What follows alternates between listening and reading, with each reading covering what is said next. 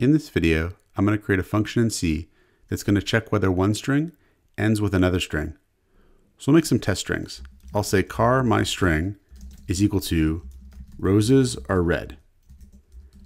Then I'll make a string for the ending. So I'll say here char end OK is equal to red. And what I want to do is create a function that's going to be able to check whether this string here ends with this string here. And it's going to be like the ends with function in Python, if you're familiar with Python. To make this function, I'm going to include a couple libraries to help. I'm going to include the string.h library because it has a helpful function called strlen that finds the length of a string. I'm also going to include the stdbool.h library because it allows me to work with Boolean true and false values. So the function is going to look like this. We'll say bool ends with char star string and char star end.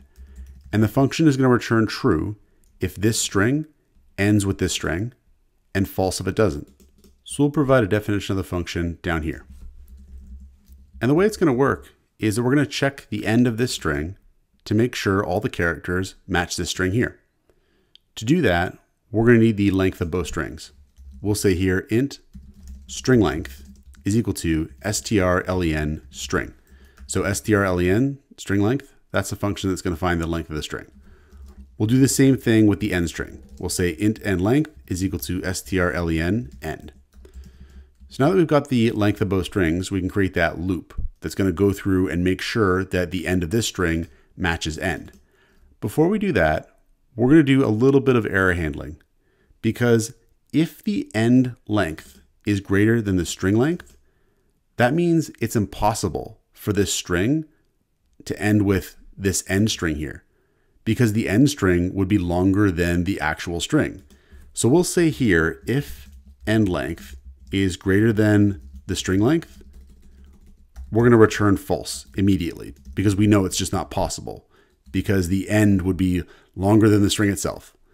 So next we'll write the loop that's going to do the check to see if the end of this string is the same as the end string. So we'll say here for int i is equal to 0, i is less than end length, i plus plus. So we're going to check for each character in the end string. That's why we have i going from 0 up until end length. Then we'll do the check. And if any character is off, if any character doesn't match, we're going to return false at that point because we know then that the string doesn't end with the end string. So we'll say here if the string at string length minus i doesn't equal end at end length minus i, return false. So here's the comparison. We're comparing the characters at the end of string to the characters in end. And we're going by the string length and end length minus i just to account for the fact that they have different lengths. Now, if we make it through all of this and we haven't found any characters that don't match, then they must match. So we'll say here, return true, because at this point we've established that the string does end with the end string. So now we can test this function out. We'll try calling it with this end OK string. We'll say here, if ends with my string and end OK. Then we can say printf, yes, string ends with red. Else, we'll printf, no, string does not end with red. And we're expecting the yes answer here.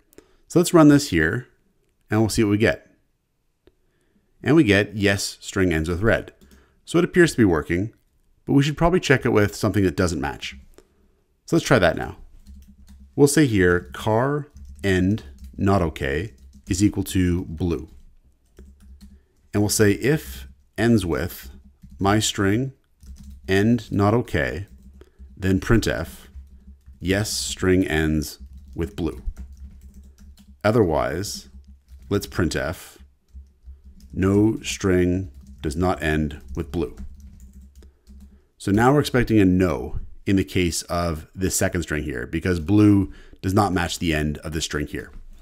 So we run this here now, and we get no string does not end with blue in that second case there. We should probably test one more thing because we want to check if this if statement is going to work. Let's test to see if the end string is larger than the string itself, then we get false back. So I'll say here, char too long is equal to, and I'll say roses are red, violets are blue. So we have a string here now that's longer than the original string. So the function really needs to return false in this case. We'll check.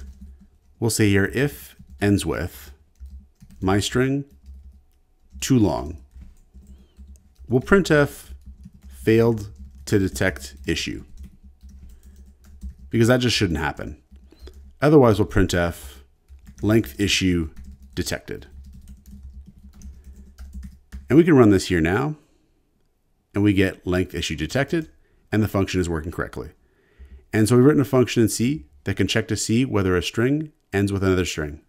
Check out portfoliocourses.com, where we'll help you build a portfolio that will impress employers, including courses to help you develop C programming projects.